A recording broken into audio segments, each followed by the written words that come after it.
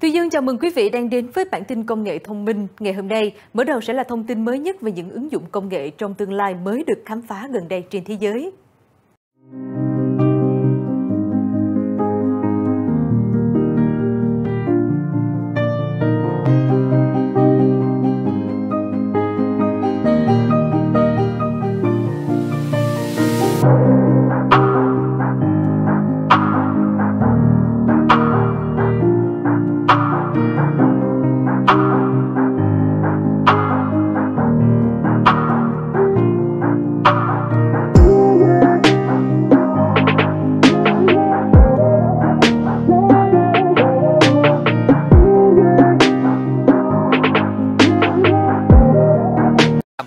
Video của mình đến đây là kết thúc mất rồi.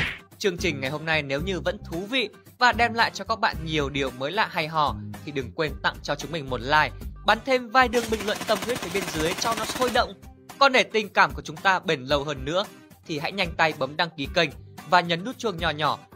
Trong quá trình thuyết minh bối rối nếu như mình có nói điều gì đó sai sót và sơ suất hoặc đôi khi có quảng cáo nhảy ra làm cho các bạn giật mình cái út tạt tà thì mong các bạn hãy bỏ quá cho. Vì tiền không phải là tất cả, nhưng không có tiền thì chúng ta chỉ có thể đi dép tổ ong cả đời.